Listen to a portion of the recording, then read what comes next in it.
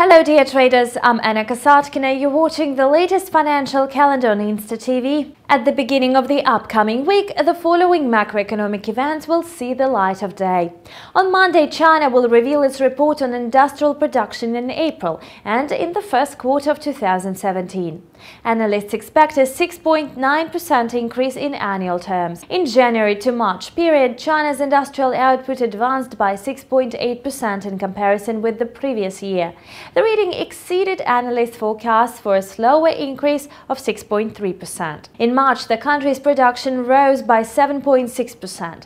On Tuesday, the European Statistical Bureau will publish the GDP data in the first quarter for the Eurozone. Economists suppose that the region's economy expanded by 0.5% on a quarterly basis and by 1.7% in annual terms. In the fourth quarter of 2016, the euro area's gross domestic product grew by 0.5% on a quarterly basis and by 1.8% year over year. According to the flash estimate for the first quarter, the economy of the 19 countries of the Eurozone grew by 0.5% in comparison with the previous quarter. The GDP growth in January to March period in 2016 made up 1.7%. The dynamics of both indicators coincided with analysts' expectations.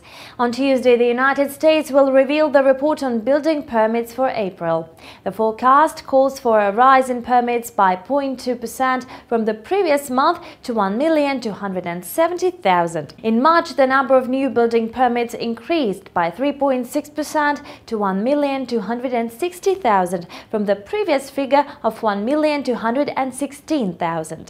The increase was triggered by a jump in the number of permits for building multifamily homes, which rose by 13.8%. At the same time, the number of permits for building single-family homes was down by 1.1%.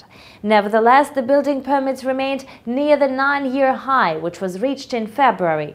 On the flip side, the U.S. housing starts decreased in March, which was caused by seasonal factors. Temperatures dropped in March, and southwest and Middle East regions suffered from storms.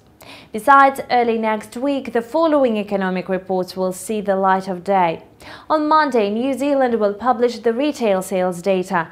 On Tuesday, the Reserve Bank of Australia will publish the minutes of its policy meeting.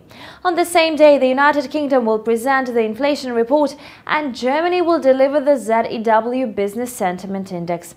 On Wednesday, the United Kingdom will unveil the labour market data and the Eurozone will deliver the Consumer Price Index. And this concludes the latest financial calendar prepared for you by InstaTV team. Thanks for watching and see you back soon. Bye.